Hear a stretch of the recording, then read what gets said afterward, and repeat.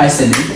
Today we're going to get you up and walking with these crutches, okay? So uh, I'm just going to show you how to use them quick. So they're going to go under your arms like this, and you want to be sure that you're pushing weight through your, your hands here and not your armpits, okay? Yep. Um, and you want to remember that we don't want to put any weight through that right leg, so you're going to keep that leg off the ground. You're going to put the crutches forward, and then you're going to step two with the left foot. All right? So how tall are you? Five seven. Okay, so I'm just gonna adjust the crutches, so there are uh, markings here for different heights, so I'm just gonna make this a little bit shorter for you.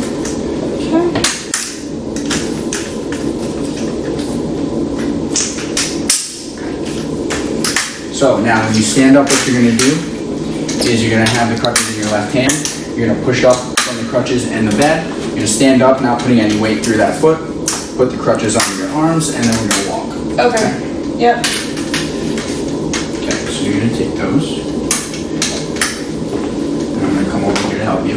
Okay. And on the count of three, keep your weight off that foot. One, two, three.